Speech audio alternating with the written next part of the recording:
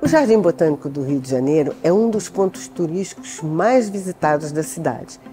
Mas as pessoas sabem o que elas estão visitando? Elas sabem que aqui é um instituto de pesquisa botânica. O papel importantíssimo do nosso museu é amplificar essa experiência da visitação para que os nossos visitantes percebam que eles estão entrando num instituto de pesquisa.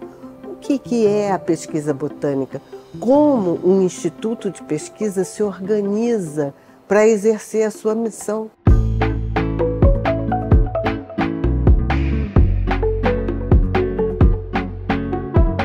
exposição do Museu do Jardim Botânico foi feita a muitas mãos. Nós trabalhamos diretamente com um grupo de pesquisadores da casa que passou para a gente que histórias eles queriam contar aqui nesse espaço. E para contar essas histórias, a gente contou com artistas, ilustradores, iluminadores, aderecistas, um time enorme de profissionais unindo arte, tecnologia e ciência. A intenção com essa exposição foi mostrar que o Jardim Botânico é muito mais do que um jardim que ele é uma instituição centenária, que ele é um centro de pesquisa que cada planta que está aqui faz parte de uma coleção viva.